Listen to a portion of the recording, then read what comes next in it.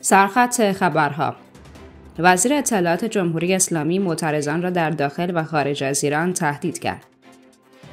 کیف باید ایران را به دلیل دخالت در جنگ اوکراین پاسخگو کرد. آماده باش کره شمالی برای شروع جنگ هسته‌ای. بررسی اخراج ایران از کمیسیون مقام زن سازمان ملل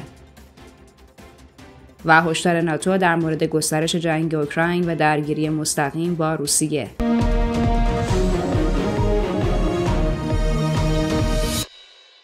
مشروع اخبار. وزیر اطلاعات جمهوری اسلامی معترضان را در داخل و خارج از ایران تهدید کرد. در ادامه تهدیدها و اقدامات تروریستی و سرکوب رژیم جمهوری اسلامی علیه معترضان و مخالفان وزیر اطلاعات ایران بار دیگر به خاموش کردن صدای اعتراضات ضد حکومتی در داخل و خارج از مرزهای این کشور تهدید کرد. شبکه خبری العالم وابسته به صدا و سیمای جمهوری اسلامی با انتشار بریده ای از یک مصاحبه تلویزیونی که حتی مکان و زمان آن نیز مشخص نیست به نقل از اسماعیل خطیب وزیر اطلاعات جمهوری اسلامی نوشته است.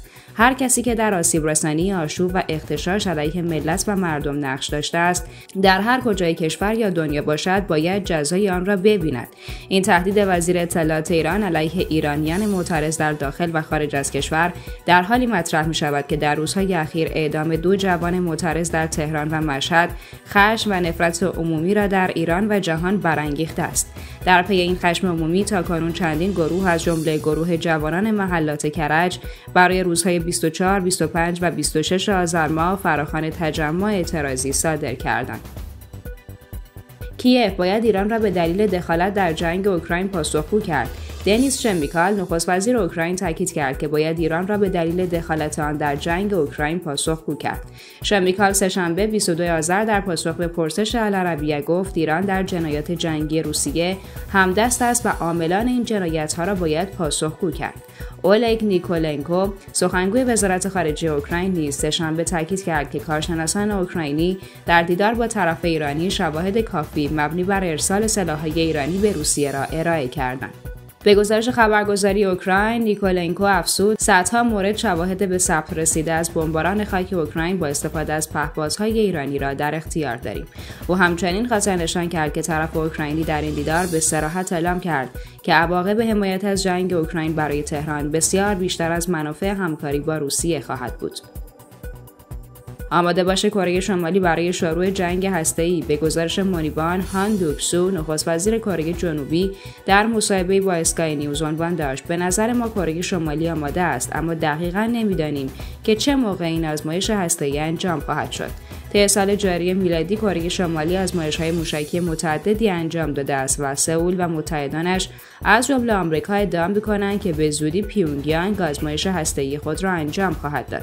وی در این مصاحبه خاطر نشان کرد ما همیشه نسبت به این اقدام بسیار ناخوشایند آمادگی داریم. ما در حال حاضر نمی‌توانیم بگوییم که چه پاسخی برای آنها در نظر خواهیم گرفت. بررسی اخراج ایران از کمیسیون مقام زن سازمان ملل طرح اخراج ایران از کمیسیون مقام زن سازمان ملل که پس از مرگ محسا امینی دختر کرد 22 ساله در بازداشت گشت ارشاد و سرکوب اعتراضات سراسری مطرح شد روز چهارشنبه بررسی خواهد شد. قرار است آمریکا در این روز قطعنامه اخراج ایران از این کمیسیون را به رأی بگذارد.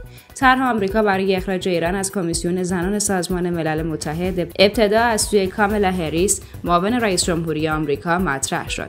13 نهاد حقوق بشری نیز در بیانیه خواسته مشابهی را از جامعه بین المللی مطرح کردند.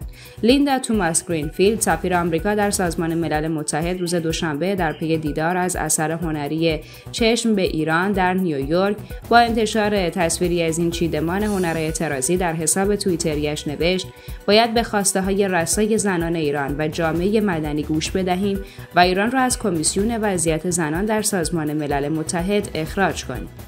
و هشدار ناتو در مورد گسترش جنگ اوکراین و درگیری مستقیم با روسیه.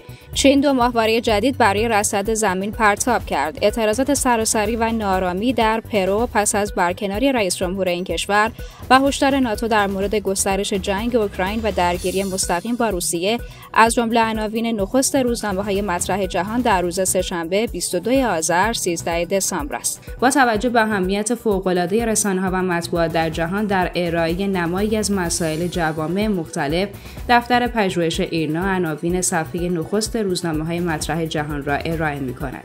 در این زمینه تلاش شده پراکندگی جغرافیایی مطبوعات از کشورها و نقاط مختلف حفظ شود و علاوه بر تیتر یک تیترهای مهم فرعی نیز ترجمه شود تردیدی نیست انباشت اطلاعات این روزنامه ها می تواند مخزن معتبری برای تحلیل روندها و رویدادها باشد